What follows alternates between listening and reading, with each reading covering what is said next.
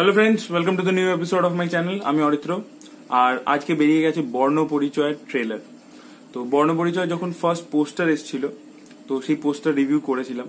এবং পোস্টারটা দেখে মানে এই সিনেমাটা নিয়ে একটা এক্সাইটমেন্ট এই কারণে রয়েছে, কারণ মৈনাক ভৌমিক, যিনি জেনারেলি রোম্যান্টিক কমেডি এই ধরনের সিনেমা বানান, সেখান থেকে সরে থ্রিলার জনরাতে ফার্স্ট টাইম উনি কাজ করছিলেন। তো এই খবরটা যবে থেকে পেয়েছিলাম, তবে থেকে একটা এক্সাইটমেন্ট ছিল যে একটা ডিরেক্টর এত বছর পরে after so many films he is changing the genre এবং which is a very good thing দ্বিতীয় কাস্টিংটা হেভি জিজু সেনগুপ্ত আবির প্রিয়াঙ্কা তিনটেই মানে বাগা বাগা অভিনেতা। তো সেইটা দেখেও একটা এক্সাইটমেন্ট ছিল।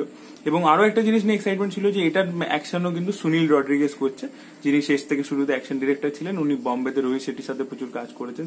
Son Chiriya happy new year Simmba অনেক কাজ করেছে।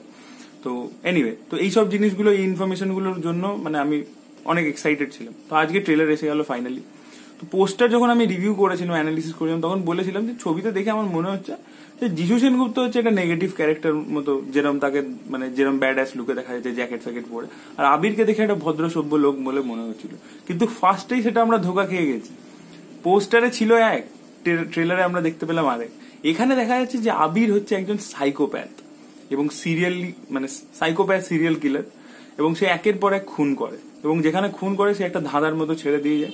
সেই ধাঁধাটাকে সলভ করলে তাকে ধরতে পারবে বা পরের কাকে খুন করবে সেটা বোঝা যাবে। তো এরকম একটা লোক। এবং জিজু সেনগুপ্তকে দেখানো হচ্ছে যে একজন অফিসার যে এই কিলারকে আগে হয়তো মানে পাস্টে ট্রেস করবার চেষ্টা করেছিল, তার মানে এই কেসটা তার কাছে এসেছিল, কিন্তু সেই কেসটা সলভ করবার সময় তার নিজের বা ছেলে যে, সে কোনোভাবে মারা যায়। মানে তাকে ওই আবির, যে সাইকো কিলার সে মেরে দেয়। এবং তাই জন্য আপনি যদি দেখেন ট্রেলারটার মধ্যে আসে যে ম্যান হু লস্ট এভরিথিং যিশুর যিশুর ক্ষেত্রে দেখানো হয়েছে। তার মানে তার ফ্যামিলিকে শেষ করে দিয়েছে আবির। তো পরের পর তারপরে আবার হয়তো আবির ফিরে এসছে, আবার পর পর খুনটুন করছে। তখন হয়তো পুলিশ এটা, সেটাকে সলভ করতে পারছে না বলে আবার যিশু সেনগুপ্তকে ডেকে পাঠিয়েছে এবং তাকে দায়িত্বটা দেওয়া হয়েছে যে তুমি এটা সলভ করো কেসটা এবং এইবারে কি যিশু পারবে মানে তাকে আটকাতে? সেইটা নিয়েই গল্পটা। যা ট্রেলার দেখে মনে হচ্ছে। হয়তো সিনেমাতে দেখলাম সম্পূর্ণ অন্য কিছু। এটা আমার প্রেডিকশন আর কি। যা আমার ট্রেলার দেখে মনে হচ্ছে। তো ট্রেলারের প্রচুর জিনিস পজিটিভ রয়েছে। The way it has been shot the cinematography is quite refreshing একটু অন্য রকমের সিনেমাটোগ্রাফি রয়েছে। কালার কারেকশন ব্যাপক। মানে আমি টেকনিক্যাল দিকটা বলছি। ডেফিনেটলি পারফরমেন্স তো আবির ফার্স্ট ফ্রেম থেকে ফাটিয়ে দিচ্ছে, যিশু সেনগুপ্ত ফাটিয়ে দিচ্ছে। প্রিয়াঙ্কা ট্রেলারের স্ক্রিন টাইমটা খুবই কম, সামান্য। এরাই লিডে রয়েছে। অ্যাকশনগুলো বেশ ভালো। যেভাবে একটা দেখুন, একটা শর্ট আছে যেখানে ওই যিশু সেনগুপ্ত একটা দেশলাই ফেলল এবং আগুন দিয়ে একটা লেখা হয়ে গেল। That scene was very well shot তো এইসব জিনিসপত্র মিলিয়ে ট্রেলারটা আর বেশ টান টান রাখা হয়েছে। ট্রেলারের লেন্থও খুব একটা বড় নয়। পুরো জিনিস যে রিভিল করে দেবে, যেহেতু থ্রিলার তাও করেনি। একটা আভাস দিয়ে আমাদেরকে ছেড়ে দিয়েছে। তো এবার বাকিটা তো সিনেমা এলে আমরা বলতে পারব যে কতটা ভালো কি খারাপ। বাট আমার ট্রেলারটা পার্সোনালি দারুণ লেগেছে। ব্যাকগ্রাউন্ড মিউজিকটার ব্যাপারেও বলব ব্যাকগ্রাউন্ড মিউজিকটাও কিন্তু খুব বেশ মানে উত্তেজনাটাকে বাড়িয়ে দিচ্ছে। তো সেই সব জিনিস দিক দিয়ে ট্রেলারটা একদম পারফেক্ট হয়েছে। কোনো দিক দিয়ে কোনো খামতি নেই।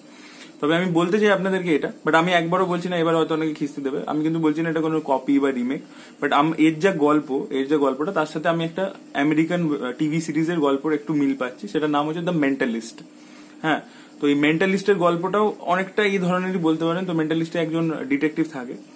মানে ডিটেকটিভ নয়, সে লোকের সাইকি রিড করতে পারে। তো সাইকি রিড করে আর কি সে বলে দিতে পারে। তো সে এই পুলিশ ডিপার্টমেন্টের সাথে ইনভেস্টিগেশন ডিপার্টমেন্টের সাথে মিলে একটা সিরিয়াল কিলারকে ট্র্যাক ডাউন করবার চেষ্টা করছে। কারণ সেই সিরিয়াল কিলারটা তার ওয়াইফ এবং মেয়েকে মেরে দিয়েছিল। তো এইটা একটু গল্পের ধাঁচটা আমার আমার মনে হলো সামান্য সেম আছে। আমি তা বলে বলছি না কিন্তু কপি করে। হ্যাঁ আমি বলে দিলাম। জাস্ট ফর ইউর ইনফরমেশন আমার যে সিমিলারিটিটা লাগল, ওটা বললাম। আমি কিন্তু বারবার বলছি, এটা কিন্তু কপি কপি নয় কিন্তু।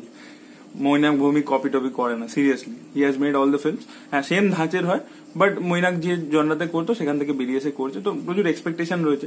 এবং মৈনাক ভূমি একটা অন্য ধরনের গল্প কিন্তু প্রেজেন্ট করেছিল। সব যে ভূতের বইটা বানালাম, নামটা মনে পড়ছে এখন সরি তো দেখা যাক কিরম হয়। I am looking forward to this film আপনাদের কি মতামত ট্রেলারটা সম্বন্ধে? সেটা কমেন্ট সেকশনে লিখে জানান। এবং এই ভিডিওটা ভালো লেগে থাকলে লাইক করুন শেয়ার করুন চ্যানেলটি সাবস্ক্রাইব করতে ভুলবেন না। পাশে একটা বেল বাটন আছে। Hit that to get all the notification and don't forget to follow me on Instagram the handle is given below in description টিজিপিউএনকে twenty six the পাং টোয়েন্টি সিক্স বাই বাই